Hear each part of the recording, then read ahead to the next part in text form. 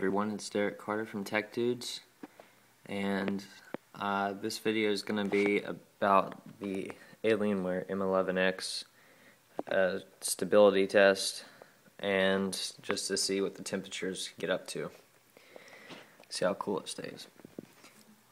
Alright, so right now it's been idling for about 30 minutes or so, and minimum 40 degrees Celsius CPU and for the GT335M minimum has been 41 alright so that's the idle temps.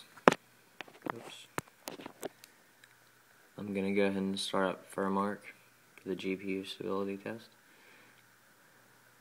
And go.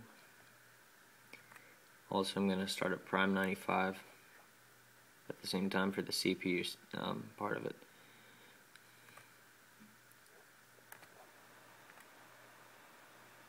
And torture test, small FFT, okay, okay that's running, and so is Furmark.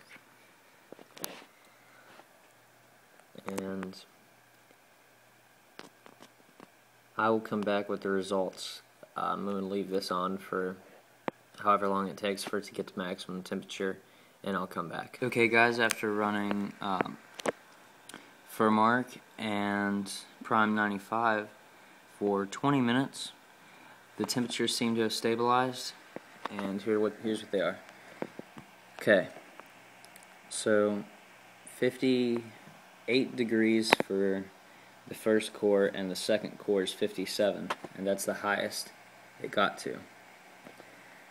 Now down here GPU, the highest it got to, it's stabilized at 61. And these temperatures are actually really good, I think, because the CPU only went up 17 degrees from idle under a full load for 20 minutes, and the GPU um, just went up 20 degrees from idle. And another thing to note, the CPU I um, it's actually overclocked to 1.73 gigahertz. It's not at the stock 1.3, so that's another impressive thing. It's that low, especially for a notebook of this size. There, you know, you you can't get much cooling in there, and what they have, it's really good. I'm really impressed with these numbers here. Well, I hope this was helpful to you guys, and if you and I would recommend the Alienware M11X to anybody at all. Whether you're just, you know, using it just for a school computer or a, something if you're in college just to have really ultra portable, or if you're a gamer and you already have a really powerful desktop, um, this is just a great mobile gaming computer. And even if you don't have the ultra powerful desktop, this is just incredible for a gaming uh, computer. Well, alright, Derek Carter from Tech Dudes.